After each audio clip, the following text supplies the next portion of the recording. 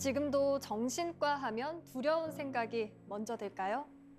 이 사람들이 생각하는 정신과에 대한 편견을 줄이고자 자신의 이야기를 스스럼 없이 털어놓는 의사 선생님. 그는 더 나은 삶을 살기 위해 다른 사람에게 도움을 요청하는 건 강하고 용감한 행동이라고 말합니다. 정신과 치료도 마찬가지죠. 이 치료를 받을 용기가 있는 사람은 그 누구보다 강한 사람입니다. 덕분에 정신과의 문턱이 1cm쯤은 낮아지지 않았을까요? 정신건강의학과 김지용 의사와 함께합니다.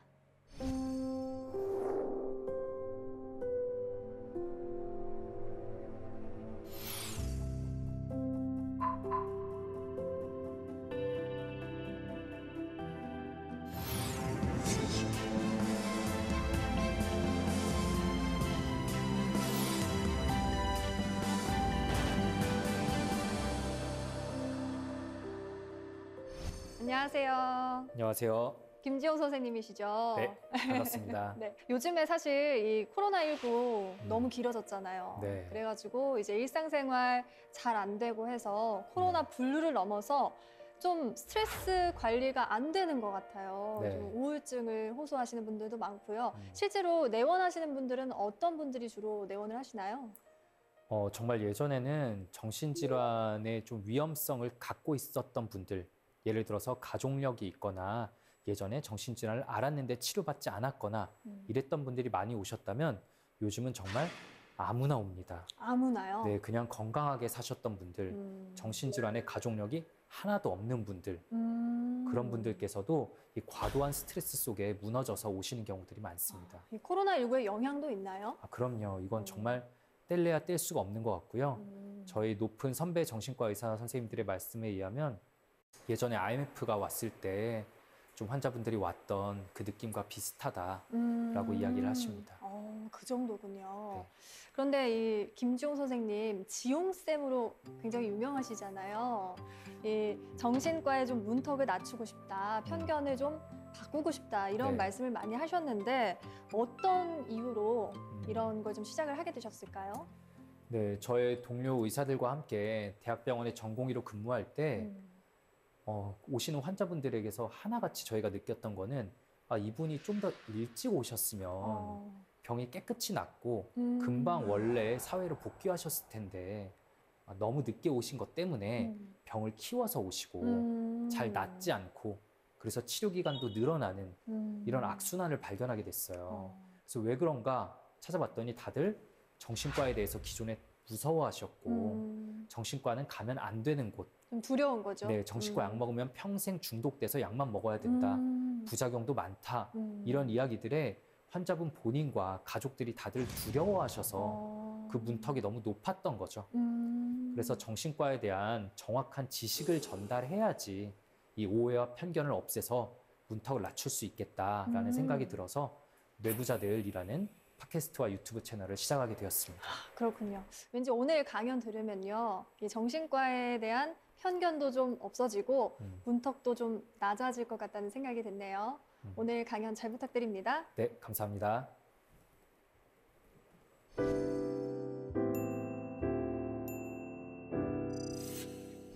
네, 이런 뉴스들 많이 보셨을 거예요.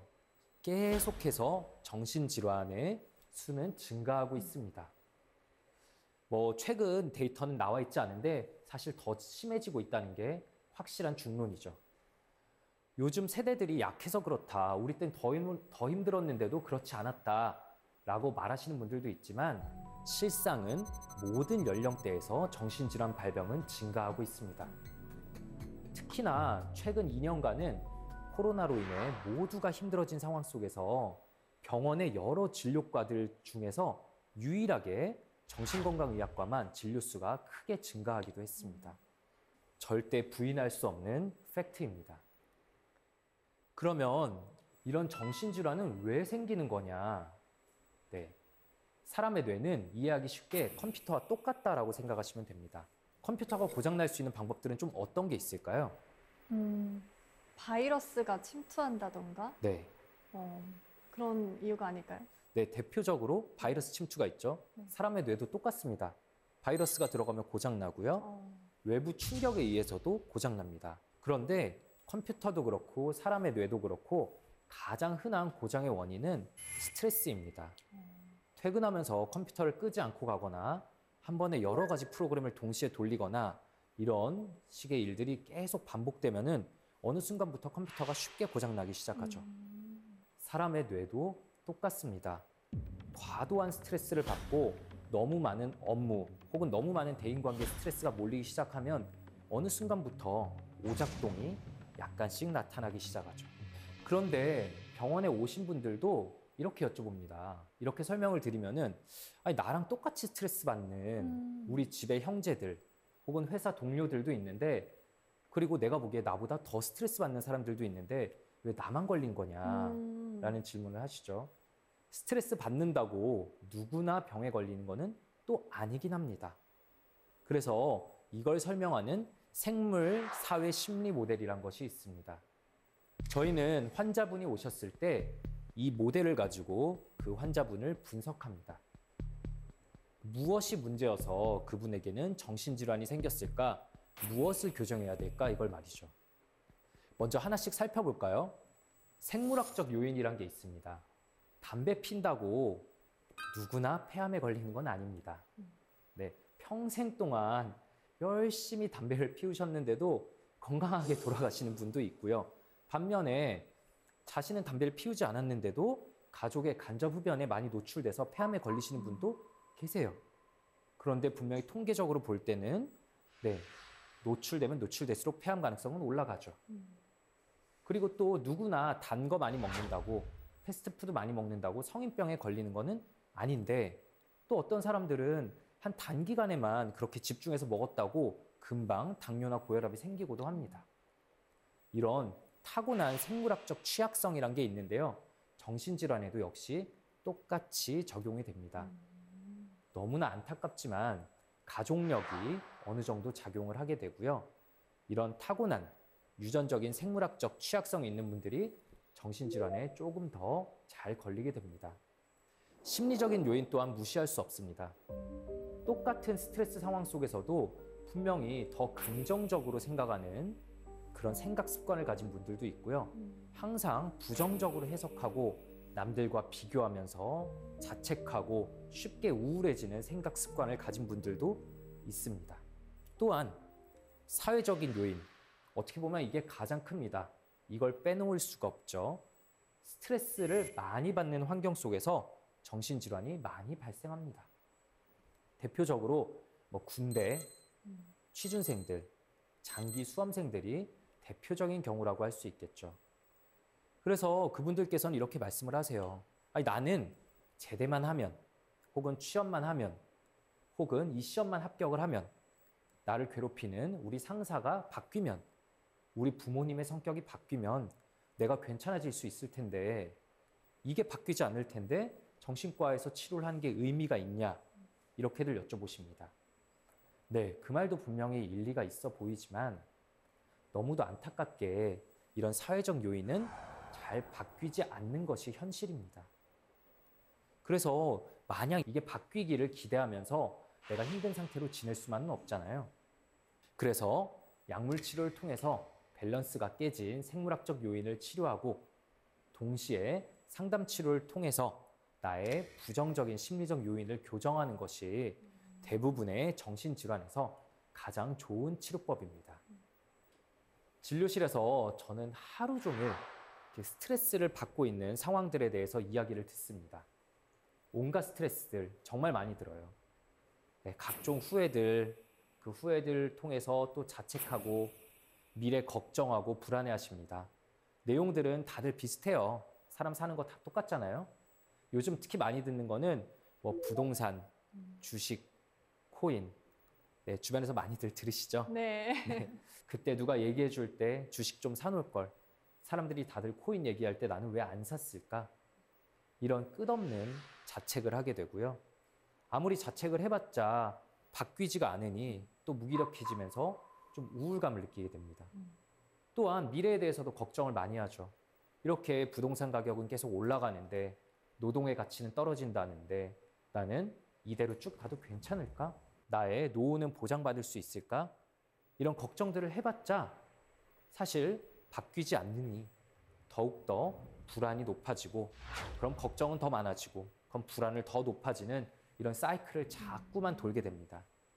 그런데 이것들의 공통점이 뭐냐면은 결국 우리를 힘들게 만드는 스트레스를 받게 만드는 이 컨텐츠들은 모두 다 과거와 미래에서 오는 것들이라는 거예요. 이런 생각들로부터 우리는 잠시도 자유롭기가 힘듭니다. 왜냐하면 우리는 엄청난 정보의 바다에 살고 있어요. 우리를 자극하는 정보들이 계속 유입됩니다. 내가 안 보려고 해도 내 메신저를 통해서 혹은 주변 친구들의 대화를 통해서 끊임없이 또 정보들이 들어옵니다.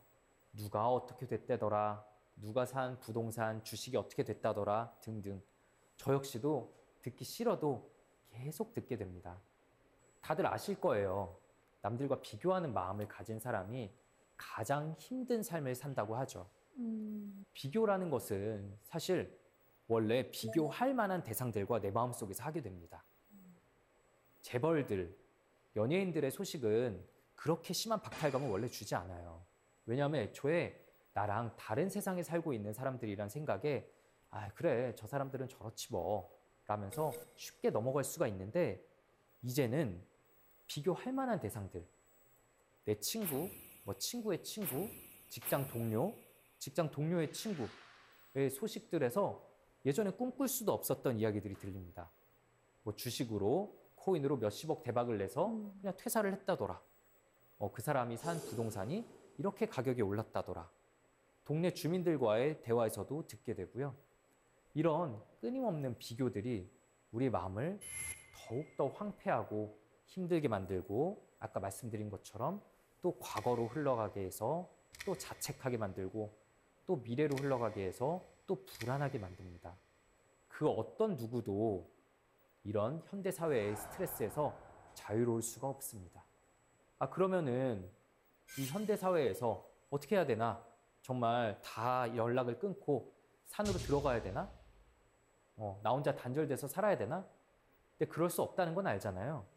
어떻게든 내 마음을 챙기는, 보호할 방법이 필요하겠죠.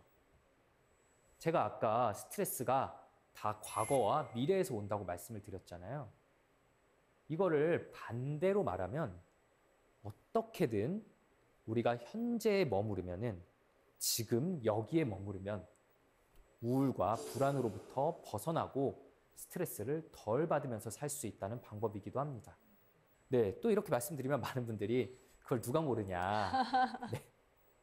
그렇죠. 네, 어디서 많이 좀 들어본 이야기도. 하고요. 네. 다들 요즘 이 얘기를 합니다. 네. 현재를 살아야 된다. 음. 그래야만 우리가 마음을 지킬 수 있다고 모두가 얘기하는데 잘 안 돼요. 왜 잘 안 되냐면 사람의 마음은 애초에 바다 위 작은 돛담배 같아서 조그만 자극만 와도 쉴 새 없이 과거와 미래로 쓸려갑니다. 음. 저 역시 똑같습니다. 어, 제가 되게 뭔가 깨달음이 있는 사람처럼 진료실에서 이런 이야기를 하지만 앞에 앉아 계신 분이 아, 부동산 스트레스에 대해 이야기를 하면 저 역시도 가슴이 팍 찔립니다. 아, 몇년 전에 샀어야 됐는데. 그러게. 저에게도 부동산 소식, 코인 좋은 소식을 알려준 분들이 있었거든요. 음. 그분들이 제 인생의 은인이 될 수도 있었지만 그 기회를 제가 발로 걷어찼죠. 동시에 저 역시도 불안해집니다. 음. 저랑 똑같은 전문직인 분들도 이 코로나 시기 속에서 많이들 힘들어지고 음. 나의 생계를 책임질 수 있을까? 나의 노후가 괜찮을까라는 걱정으로 오시면 저의 마음도 역시 미래로 쓸려갑니다.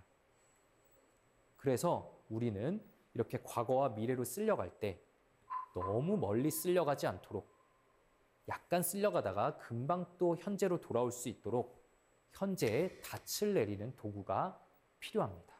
제 삶에서는 운동이 대표적으로 있습니다. 음. 네, 오늘 아침에도 저의 허리 건강을 위해서 필라테스를 하고 왔는데 어. 아, 저희 선생님께서 저를 한 시간 동안 괴롭히는 동안에는 네, 그 어떤 고민도 할 수가 없습니다. 음. 생각이 일단 한번 끊기는 거죠. 음. 한번 생각해 보시면 아나운서님의 삶에는 좀 어떤 이런 도구가 들어 있을까요? 저요. 저는 사실 저희 제가 애완동물을 키우거든요. 제 네. 반려견이 있는데 그냥 반려견이랑 산책하고 음, 이제 배변 치우고 음. 하게 한 일상이니까 음. 그런 일들을 할 때는 사실 아무 생각이 들지 않는 것 같아요. 네. 또 매일 하는 일이기도 하고. 네. 네.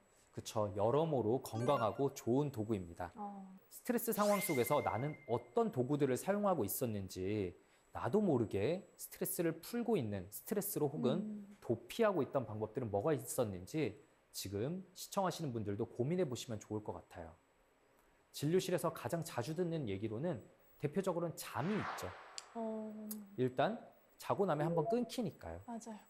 또한 누군가는 폭식을 하고 음. 술을 마시기도 합니다. 아. 먹는 동안에는 음. 먹는 감각에만 또 집중을 하거든요. 음. 또한 어떤 사람들은 좋아하는 음악을 듣기도 하고요.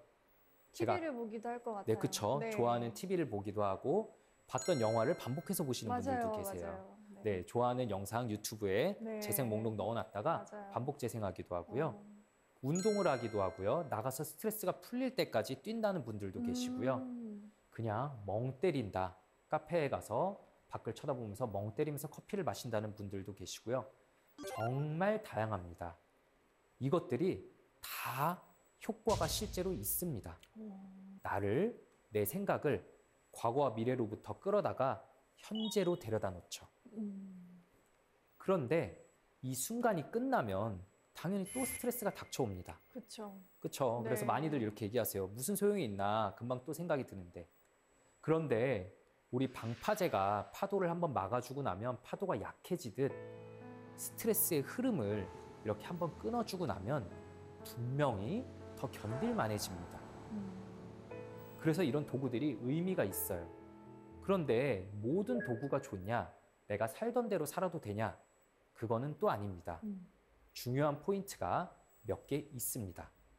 1번으로는 부작용이 없어야 좋습니다. 음. 한번 생각해 볼까요? 잠만 잔다. 혹은 그때마다 폭식을 한다. 음. 네, 그때마다 술을 마신다. 그러면은 필연적으로 부작용이 따라옵니다. 그렇죠. 그렇죠? 근데 반려견과의 시간, 운동 이런 경우는 사실 부작용이 보통 없어요. 음. 네, 다음으로 또 중요한 거는 정기적으로 할 수 있으면 좋습니다. 어. 네, 방파제가 그냥 우리가 필요할 때마다 세우는 게 아니라 정기적으로 그냥 당연하게 바다에 그냥 음. 굳건히 서 있으면 항상 파도로부터 조금 더 자유롭게 살 수 있겠죠. 음. 마지막으로 중요한 도구는 특히나 중요한 건데 언제든 즉각 사용할 수 있는 도구가 있으면 좋습니다. 즉각적으로. 네. 네. 제가 아까 말씀드린 운동은 분명히 좋은 도구지만 회사에서 상사로부터 심각한 스트레스를 받을 때 음. 갑자기 자리를 박차고 나와서 달릴 수는 없잖아요. 그렇죠. 네. 내가 회사로 갑자기 뭘 시켜서 먹을 수도 없고요. 음. 반려견이 아이들이 너무 친구들이 너무 보고 싶어도 즉각 볼 수는 없습니다. 그렇죠. 네. 그래서 이런 몇 가지 기준에서 볼 때 모든 면에서 좋은 도구 하나를 제가 짧게 소개해 보겠습니다. 제가 소개드릴 도구는 마음 챙김 명상법입니다. 아, 무슨 정신과 의사가 명상법을 소개하냐? 이거 약간 이상한 거 아니야?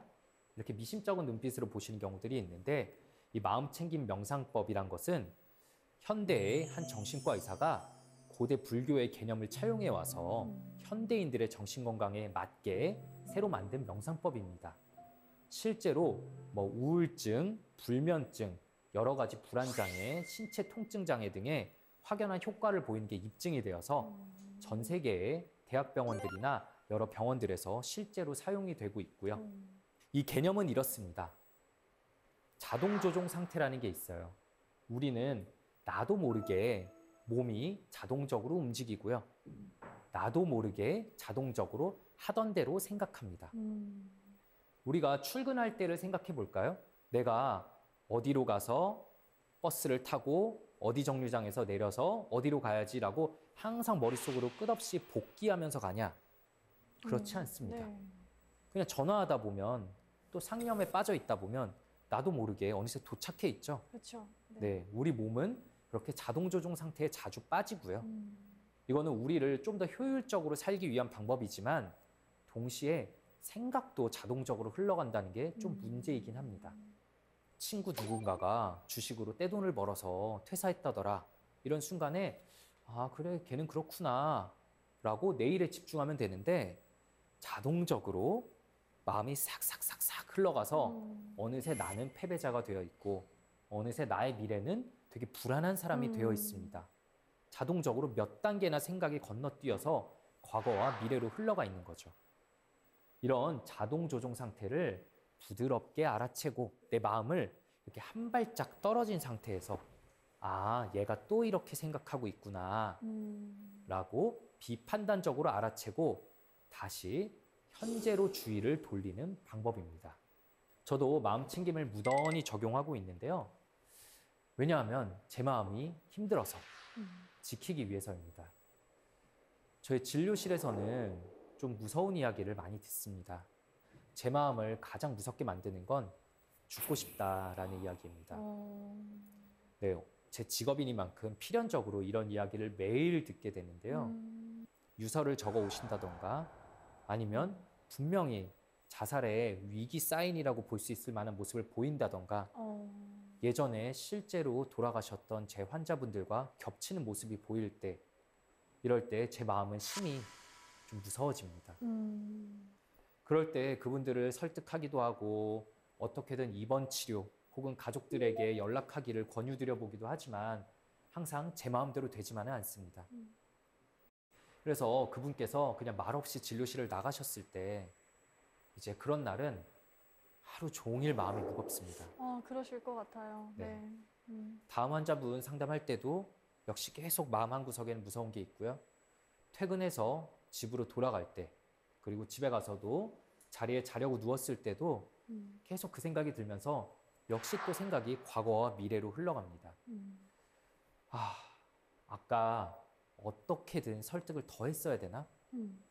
아, 정말 경찰이라도 불렀어야 되나? 본인이 거절하셔도 가족들에게 그냥 연락을 했어야 되나?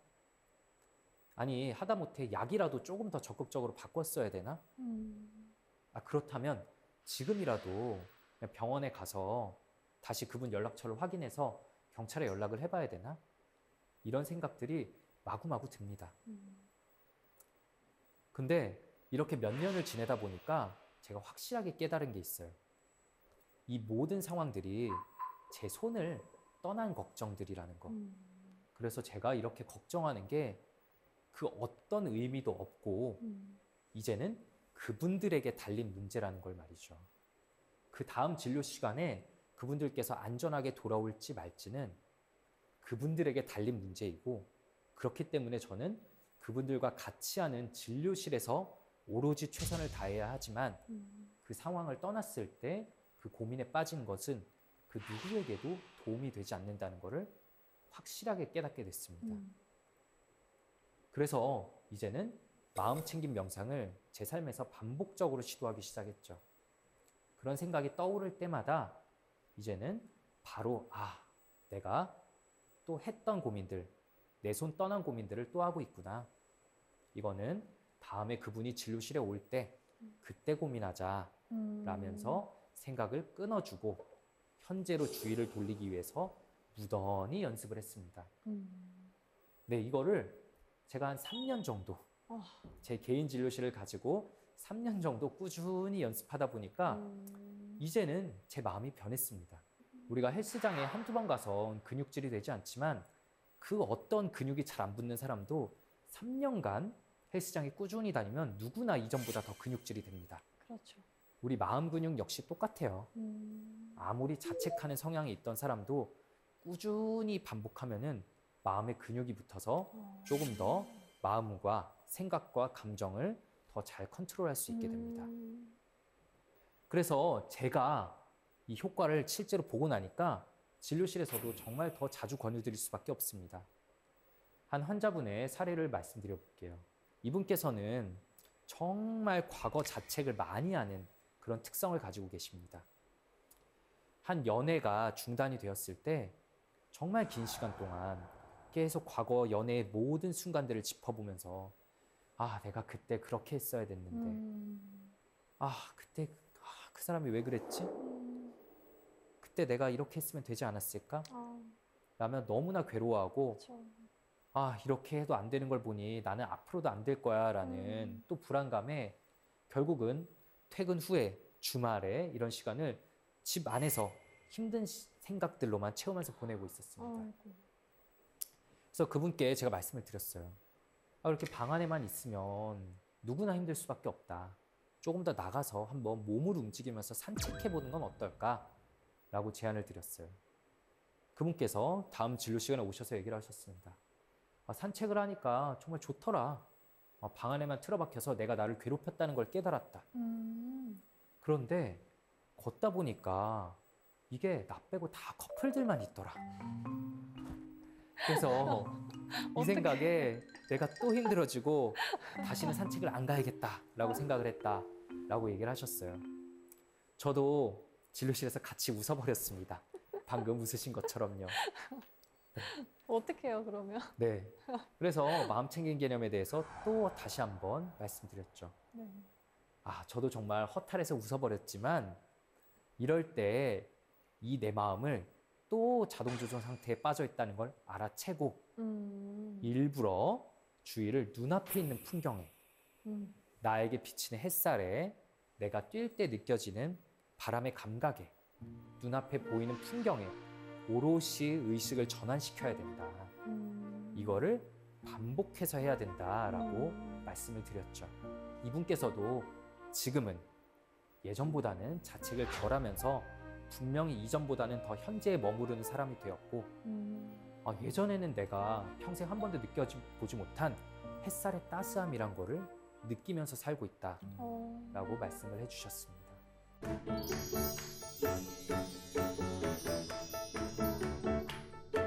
제가 아까 초반에 말씀드린 생물 사회 심리 모델 기억나시나요? 네. 네, 그 세 가지 요인에 의해서 우리는 환자분들을 분석하고 그분들의 마음을 어떻게 교정해 나가야 될지 같이 고민해 본다 말씀을 드렸었죠. 이제는 마음을 챙기는 방법까지 간단하게 설명을 드렸으니 실제 그 모델에 맞춰서 환자분들과 같이 스트레스 상황을 어떻게 해결해 나가는지 이야기를 한번 해보겠습니다. 제가 지금부터 말씀드릴 이분들의 케이스는 실제 사례이지만 익명성을 지키기 위해서 약간의 변경이 있고 음. 또 여러분들의 케이스가 섞여 만들어진 것임을 미리 말씀드릴게요. 네, 이분은 34세 여자 환자분이셨고요. 출근 버스에서 숨이 안 쉬어진다고 오셨어요.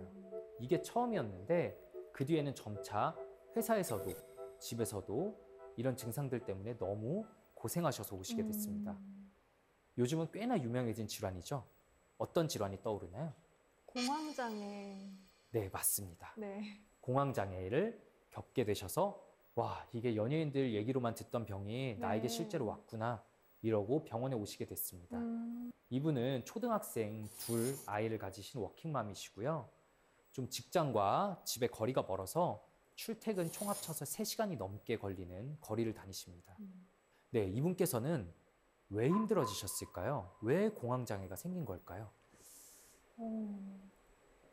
그 봐서는 아이들을 떨어뜨려 놓고 음. 가시는 길이 굉장히 좀 마음이 쓰이고 음, 음. 걱정되고 불안하고 그러지 않으셨을까 음. 싶기도 하고 또 출퇴근 시간이 굉장히 길고 사람이 많다 보니까 좀 답답함을 느끼셨을 수도 음. 있겠다 뭐 이런 생각도 드네요. 네. 어, 지금 말씀해 주신 부분들이 다 분명히 정답입니다. 어. 네, 정답이 여러 개로 합쳐져서 그분을 알게 되는 거니까요. 음. 이분은 집에 돌아가는 시간을 제2의 출근을 하는 것 같다라고 얘기를 하셨어요. 어. 네. 새벽에 일어나서 하루 종일 회사에서 열심히 일하다가 만원 지하철과 버스에 낑겨서 퇴근하고 집으로 돌아가면 아이들 밥을 차려줘야 되고요. 네. 밥 차려 먹고 나면은 그 다음에는 설거지를 하고 그 다음에 아이들 숙제를 봐주고 그 다음에 아이들 씻기고 재우다 보면 같이 잠들고 그러다 보면 다음날 새벽에 헉 하면서 놀라서 지각했을까봐 깨서 다시 출근을 하고 이런 생활이 반복되고요. 아, 그럼 주말엔요? 본인 시간이 좀 있으세요? 라고 물어봤을 때는 주말에는 또 주중에 다른 엄마들에 비해서 나는 워킹맘이라 아이들과 시간을 못 보냈다라는 죄책감에 주말에는 또 아이들과만 시간을 보냅니다. 음. 누가 보더라도 지칠 수밖에 없지 않나요? 너무 이해가 가네요. 네. 음. 근데 이분께서도 아까 강의 초반에 말씀드린 것 같은 이야기를 똑같이 하세요. 아니 그런데 주변에 워킹맘들 나랑 똑같이 사는데 분명히 나만 더 병에 걸렸다. 왜 나만 더 힘든 걸까? 음. 제 의지가 그냥 약한 거 아닐까요? 이걸 다 해내면 되는데 내가 핑계를 대는 거 아닐까요? 음. 이런 말씀들을 하세요. 분명히 그럴 만한 상황이 아닌데 말이죠. 이렇게 조금 더 자신의 의지를 탓하고 음. 조금 더 죄책감을 느끼는 이분만의 숨겨져 있던 심리적 요인이 있었습니다. 음. 그런 심리적 요인을 알아채야지 실제 변화가 나타나게 되는데요. 이분께서는 저도 그렇고 실제 제 또래 많은 분들이 예전에 워킹맘인 경우들이 저희 어머니들이 워킹맘인 경우는 상당히 적었습니다. 그래서 어머님께서 저희를 챙겨주시는 것들을 저희는 보면서 자랐죠. 우리가 회사는 여러 군데 다니고 뭐 학교도 여러 군데 다니고 친구도 여럿인데 가정은 딱 하나입니다. 그래서 내가 봐왔던 것이 당연한 가정의 모습이고 음. 그렇게 해야만 된다고 생각을 해요. 음. 그래서 어머니가 나에게 해주셨던 것들을 아이들에게 나도 다 해줘야만 한다 라는 그런 강박감이 이분을 더 힘들게 만들고 있었습니다. 음. 그래서 이런 이야기들을 나누고 난 뒤에 이분에게 작은 변화가 생겼습니다. 어떤 변화가 있던 걸까요? 약간 강박에서 좀 벗어나셨을까요? 네. 음, 그런 게 있을까? 잘 모르겠는데요. 어, 잘 모르겠다고 하시면서 되게 정답만 고르시는데요. 이분께서 아, 이런 강박이 나를 괴롭히고 있었구나라는 걸 음. 깨달아서 그 진료가 끝난 다음 날부터 모든 식사를 사서 먹기 시작했습니다. 어, 네, 이전에는 다 요리하고 꼭 해줘야 그걸 된다. 설거지하고 그쵸. 꼭 해줘야 된다는 생각에 음. 너무나 힘들었는데 그냥 이제는 반찬 가게에서 다 배달시켜서 음. 아이들과 먹고 그러니까 설거지할 거리도 훨씬 더 적고 그러니까 실제로 시간적인 여유가 생기고 와. 나를 위해서 사용할 수 있는 시간이 생기기 시작했어요. 음. 동네 친구들과 카페에서 만나서 수다 좀 떨고 음. 드라마를 볼 수 있는 내 삶이 생겼습니다. 어. 그래서 정말 작은 변화인데 이분 삶에는 큰 변화가 생겼고 음. 그걸 통해서 공황장애까지 어. 벗어날 수 있게 된 거죠. 어, 어찌 보면 또 굉장히 작은 음. 변화인데요. 네. 반찬을 배달해서 먹기 시작했다는 그거 음. 하나로 이렇게 압박에서 좀 벗어나신 거네요. 그렇죠. 음. 그래서 정신과 의사들이 약물 치료가 중요하지만 약물 치료만 또 강조해서는 안 되고 음. 심리적인 요인이 중요하지만 심리적인 요인만 강조해서도 안 되고 음. 이런 환경적인 요인까지 세 가지 다 복합적으로 서로 간에 영향을 미치기 때문에 음. 큰 틀에서 바라볼수록 그 환자분을 정말 낫게 해줄 수가 있는 거죠. 음. 네, 다음 케이스 한번 같이 볼까요? 네, 이분께서는 정말 흔한 사례일 겁니다. 29세 여자 환자분이셨고요. 어느 날부터 그냥 이유 없이 눈물이 나고 잠을 못 이루겠다. 음. 삶이 재미가 없어졌다라고 오셨습니다. 그 어떤 것에서도 흥미를 느끼지 못하고 아, 예전에는 재밌게 보던 유튜브 채널도 요즘은 안 보고 음. 드라마도 안 보고 예능도 안 본다. 친구들과의 수다도 재미가 없다. 그냥 가만히 있는데도 눈물이 난다라고 음. 얘기를 하셨어요. 네, 어떤 질환일까요? 한번 추측해 보시면요. 그래서 좀 어렵게 느껴지긴 하는데 이제 저랑 약간 비슷한 연배다라고 음. 생각을 하니까 좀 지치지 않으셨을까 음. 뭐 이런 생각이 들어요. 이게 음, 저희가 삶의 사이클을 보면 음. 학교를 졸업하고 대학을 가고 대학은 또 취업을 네. 준비하고 좀 끊임없이 달려오다 보니까 좀 삶에서 많이 지치고 네, 그러지 않으셨을까? 그런 생각이 드네요. 어, 정말 너무 잘 꿰뚫어 보셨는데요. 어. 네, 이분께서는 말씀하신 것처럼 열심히 살아오시다가 음. 번아웃이 찾아왔습니다. 어. 많은 분들께서 아마 보시면서 우울증 아니야 싶으실 수 음. 있는데 번아웃과 우울증은 그 증상이 한 90% 정도 겹칩니다. 실제로 진단도 많이 겹치고요. 그래서 이분께는 의학적으로는 우울증, 음. 하지만 이분의 심리와 환경을 볼 때는 번아웃이 음. 찾아온 거죠. 음. 그런데 이분께는 또 이렇게 말씀을 드렸더니 이분도 약속이 난 것처럼 아까 똑같은 말씀을 하십니다. 아까 환자분가요. 아니 내 주변 사람들 다 똑같이 힘든데 왜 나만 이렇게 되냐. 음. 내 의지가 약한 거 아니냐라고 이야기를 하셨습니다. 그래서 이분의 마음속을 조금 더 훑어봤죠. 더 힘들게 만드는 심리적 요인이 어떤 게 있을까? 그랬더니 이분은 남들의 눈치를 너무 많이 본다는 음. 그런 심리적인 약점이 있었습니다. 똑같은 상황에서도 항상 눈치를 보기에 계속 고민이 더 많고 내가 상사에게 보고서를 올리고 나면은 그다음부터 그 상사의 눈빛, 행동 하나하나에 다 의미를 부여하고 어, 아이고. 다른 직원들이 그 뒤에 나를 이렇게 지나가면서 눈 마주칠 수 있는데 보고 나면 아, 혹시 내가 한 거 잘못된 음. 거에 대한 소식이 흘러 들어가지 않았나 이런 걱정들이 이분을 좀 항상 더 지치게 만들었고 그렇기 때문에 더 쉽게 번아웃이 찾아오게 된 거죠. 음. 이런 눈치를 많이 보는 습성은 분명히 있다.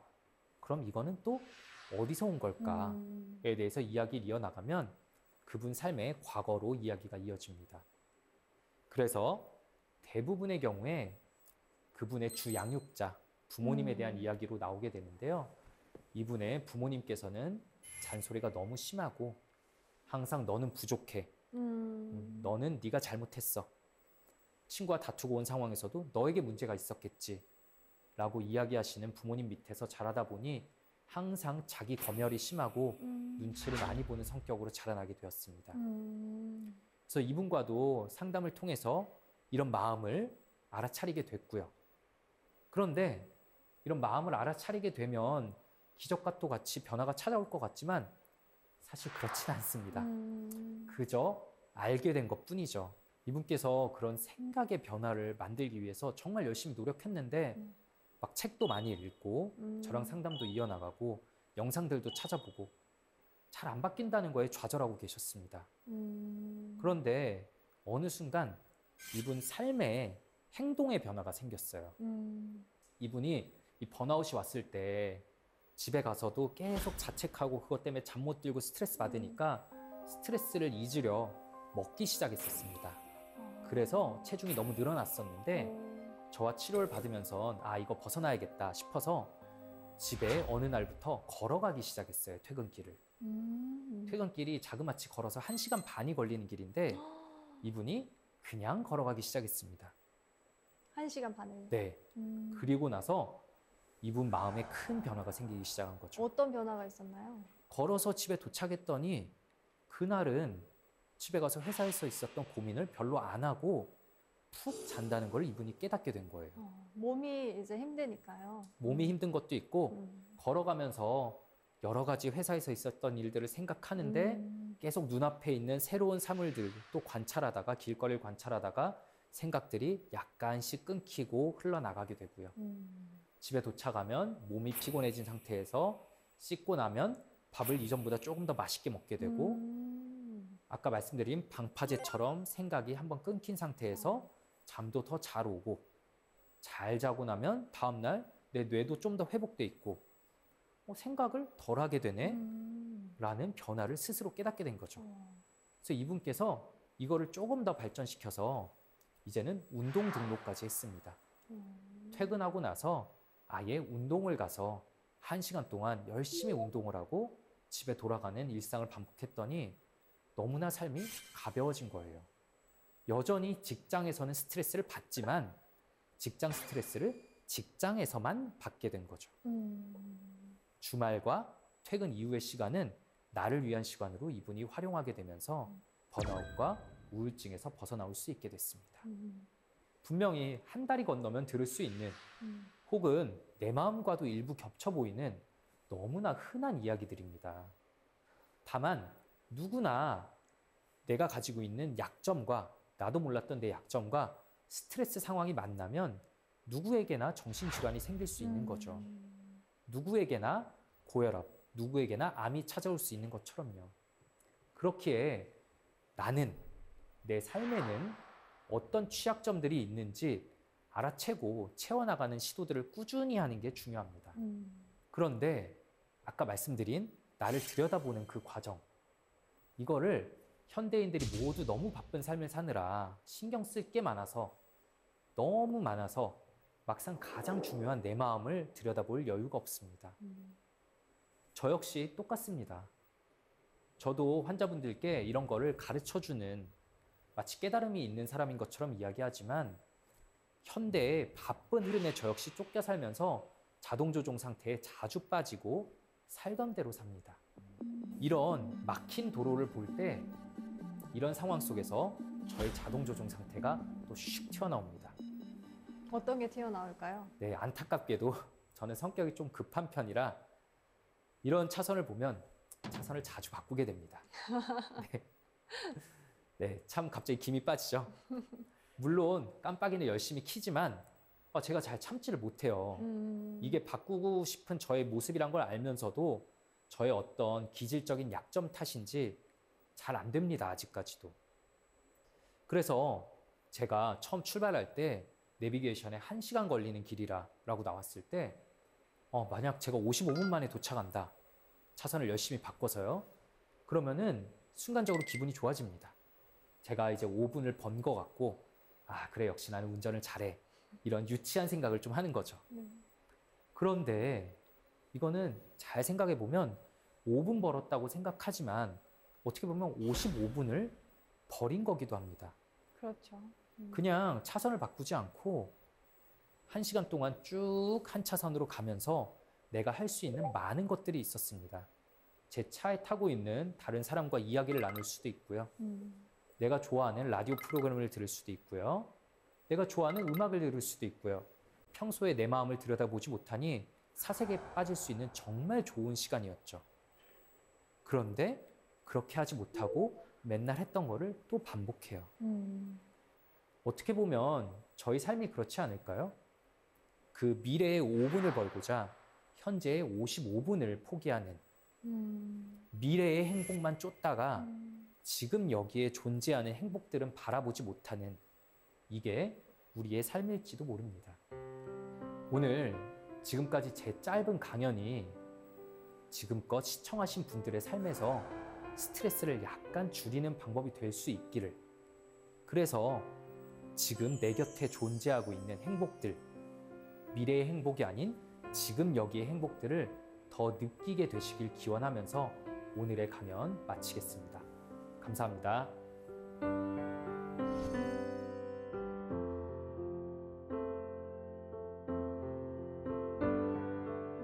네, 강연 잘 들었습니다. 아, 감사합니다. 아무래도 주변에 이렇게 케이스들이 늘어나잖아요. 네네. 좀 정신 질환을 앓고 음. 계시는 분들이 늘어나고 있는데 보면 좀 병원을 가야겠다라는 음. 생각이 드는 분들이 계시잖아요. 네. 뭐 망상이 있다던가 네, 아니면 네. 정말 뭐 환청이 들린다던가 이런 음. 증상도 겪고 계신 분들이 있을 텐데 음, 그런 분들은 혹시 이제 병원을 가지 않고도 낫는 경우가 있나요? 어, 정신질환이라는 건 사실 생각보다 네. 굉장히 흔하죠. 음. 전 국민의 4명 중 1명은 살면서 정신질환을 한 번은 겪는다고 하는데요. 오. 사실 대표적인 정신질환이 우울증만 해도 유병률이 10%니까 10명 중 음, 1명은 와. 그걸 겪게 되고요. 아까 말씀하신 이런 환청과 망상 같은 경우는 흔히 이제 정신분열병이라고도 불렀던 음. 조현병에서 가장 흔하게 동반되는 모습인데 조현병이요? 네. 어. 조현병뿐만 아니라 조울증이나 우울증에서도 동반될 수가 있어요. 오. 그래서 조현병의 경우에도 전 국민의 1%, 음. 조울증도 1%, 음. 우울증은 10%, 여기에 속하지 않는 다양한 질환들에서도 이런 모습이 나올 수 있어서 음. 사실은 정말 흔합니다.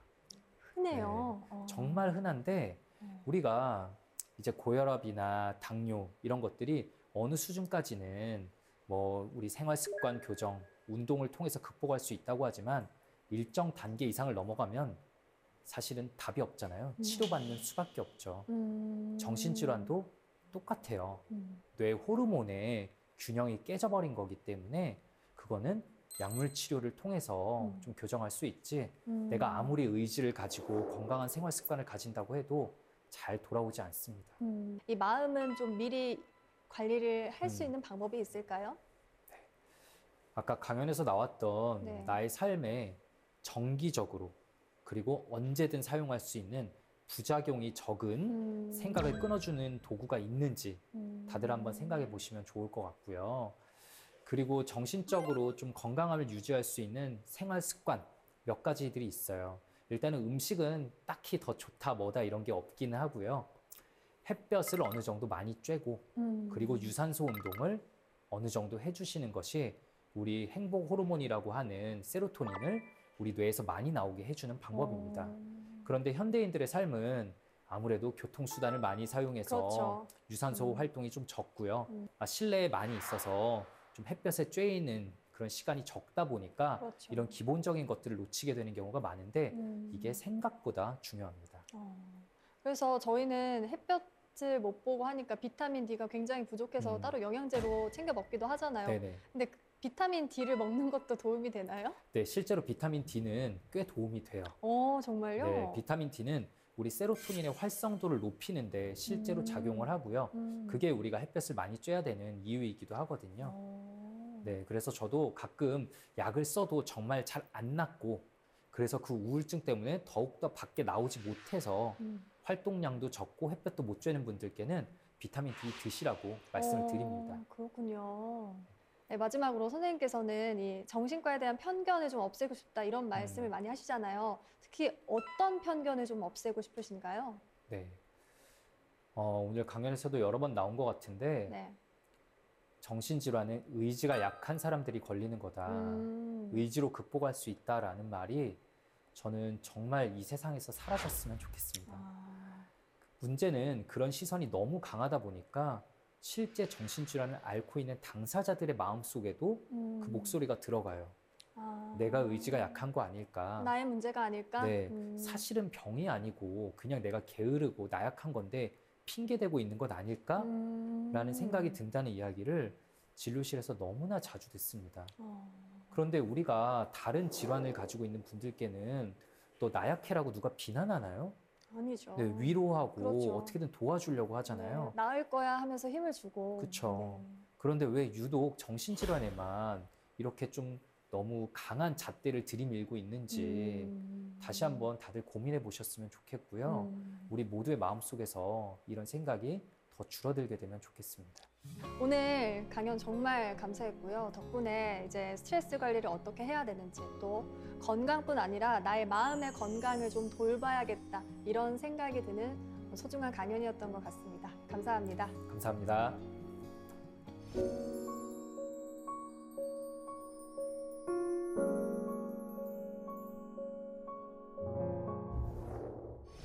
우울증에 대해서 연구하던 한 연구원이 우울하게 되는 방법을 고안해냅니다. 바로 하루에 천 번씩 한숨을 쉬는 것이었죠. 그러다 진짜로 우울하게 된 그 연구원은 다시 우울증을 극복하게 되는 방법을 찾아냅니다. 그 결과는 바로 하루에 천 번씩 웃는 것이었습니다. 다들 아시죠? 행복해서 웃는 것이 아니라 웃어서 행복해진다는 사실을요. 사세계 공동체 습니다. 오늘 여기까지입니다. 감사합니다.